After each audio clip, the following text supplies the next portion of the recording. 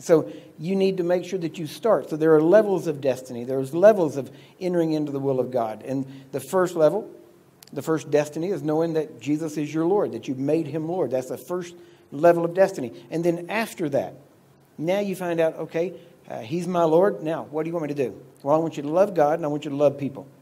Okay? Well, loving God, that's easy. People, uh, let me think. Why? Because people do you wrong, God doesn't.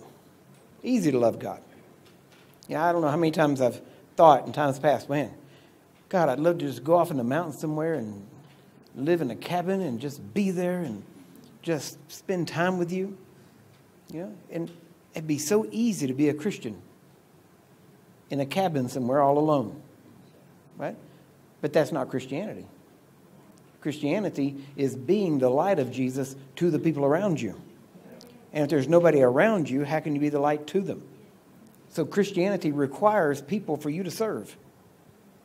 So you the first step is making him Lord. Then you start to say, okay, I want to I want to love you, I want to serve you. How do I do that? He says, love and serve people. Okay, so then you start serving. See, this is something that most people don't ever get. They, they, they go through every seminar, they go through Bible schools. You know, in Tulsa right now, there are hundreds of Bible schools. And there are thousands of Christians that have been through several Bible schools, one after another. And yet they're still wandering around Tulsa trying to find God's will. See, you can go to Bible school the rest of your life. And people think, yeah, but there's something missing. I want that more, and I'm trying to find it. I got to go to this school, that school, this thing, that thing, go to that seminar, get this person to lay hands on me. I need all of that to find that missing part. Well, what is that missing part? I don't know, but it, something's missing. And I got to find it. And, and, you know, if I don't know what it is, if I do enough stuff, maybe it'll, I'll just happen into it. God is not just a happen God. God is specific. He has a movement. He has an idea. He has a plan. He's moving towards something. He is organized. You know, we pretty much all showed up here at the right time today. Why? Because we knew the right time, because God set the, the sun and the moon and the earth and everything in order, and it works on a set basis, and there is organization behind it. You know, the, the stars and the moon, the sun, they don't just wander around the galaxies.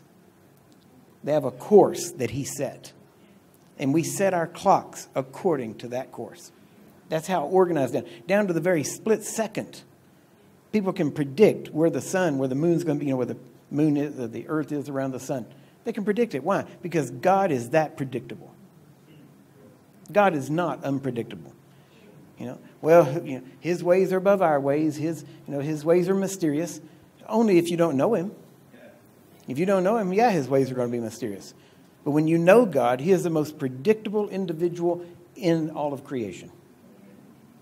Because He's going to do exactly what He said He's going to do. And all He's doing is looking for somebody that will believe Him. And when He finds those people, and the Bible even tells us, his, the, the eyes of the Lord roam to and fro over the face of the earth, looking for those in whom He can show Himself strong. He's looking for people that He can be strong through. You say, well, I, I, want that. Okay, well, it's very simple. You know how you get that? That's Hebrews 11. In Hebrews 11, it tells us that through faith, weak were made strong. When you have faith, you can be weak and you'll be made strong with faith. I was with Dr. Lester Sumrall for several years and learned a great deal from him. Still honor him as one of the greatest men I've ever met. And his forte was faith. But he didn't just talk it, he lived it. And he trusted God above man, above anything else. And he, he showed us how to walk in faith. And, you know, some of us, it took a little bit longer than others to learn it, mainly because we had to unlearn so much other garbage first. So if you're going to walk in the, in the will of God and you're going to fulfill his destiny for your life, because he does have a destiny for your life. And if you're going to fulfill that, then you're going to have to take it step by step, and you're going to have to do the general. Then you're going to have to learn that missing part. And as I said, everybody's going around trying to find that missing part, and nobody can figure out what it is. So they're just, well, maybe this is it. Well, maybe that's it. Well, maybe I'll try this.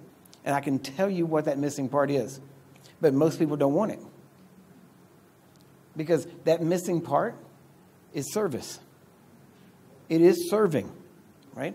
Now, let me tell you another definition of serving responsibility. When you decide to take responsibility for people around you, for their lives, for the sick, and you take them on as this is my responsibility to get them healed. Why? Because I have faith in God. And I can tell you, listen, I do not have faith in divine healing. I have faith in God. And God is a healer. Amen?